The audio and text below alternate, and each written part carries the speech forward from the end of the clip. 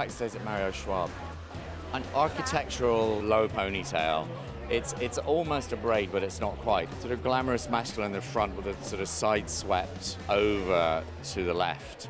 And we've pulled it down into a low pony in the back and folded it over so there's a, there's a kind of almost the beginning of a braid. We fastened it at the nape with a rose gold barrette that matches the jewelry in the show.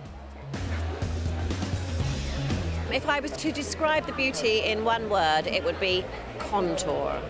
It is all about the skin, so it's just beautiful skin, highlighted down the nose, cupid's bow, contour, and we're sort of like using a gloss on the brow as well as on the lid. It's interesting because I have been working with Marios for a long time. You know, he always sort of says, Can you give me super skin? Can you give me super skin? He likes to see the shine.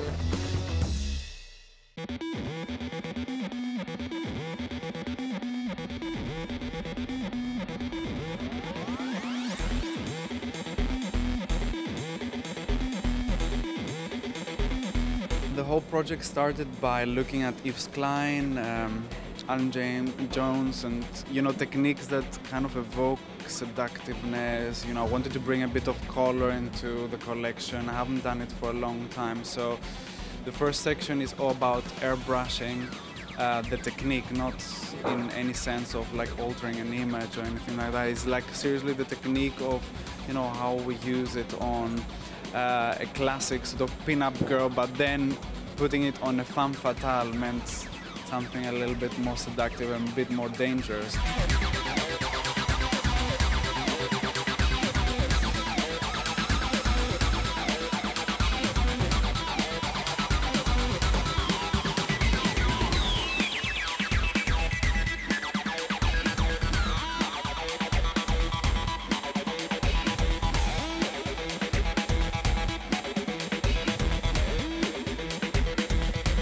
Hide and reveal game is a continuity. It kind of came also to the Daywear section, um, bring the element of layers um, and sparkle.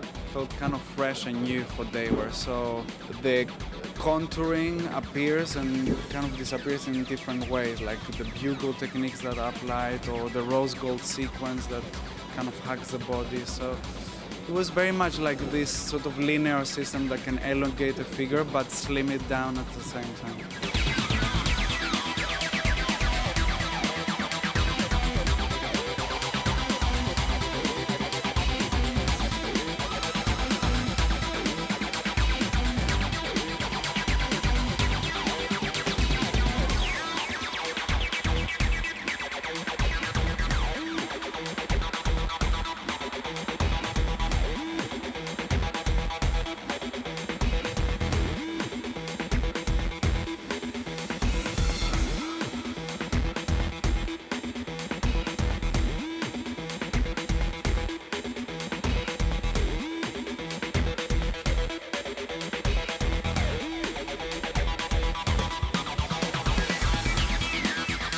Kind of felt fresh to bring the layered technique into daywear, but also luxury into daywear.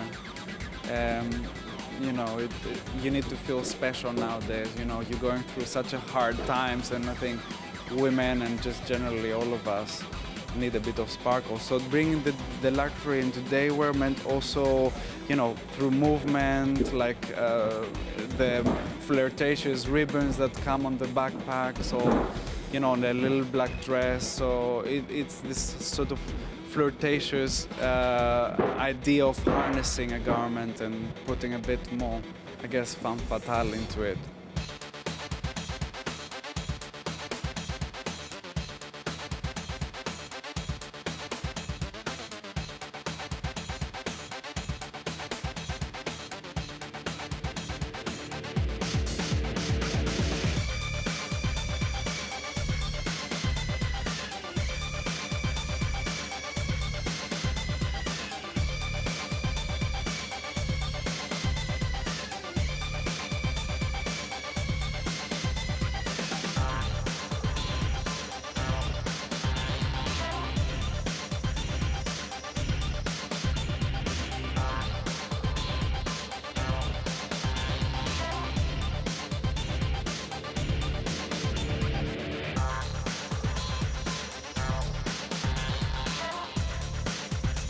The embroidery was um, um, again bringing like a little bit of rawness into the the crystal. Like worked quite a lot with marble um, and mixing it together with um, you know a little bit more darker shades of gray or rose gold.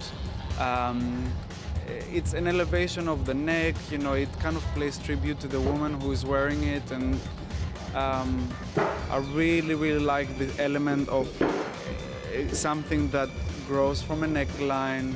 I remember my my auntie always used to wear a beautiful flower in the summer in her décolleté line and kind of brought me this idea of embroidery that you know can you know elevate the face and the, the wearer.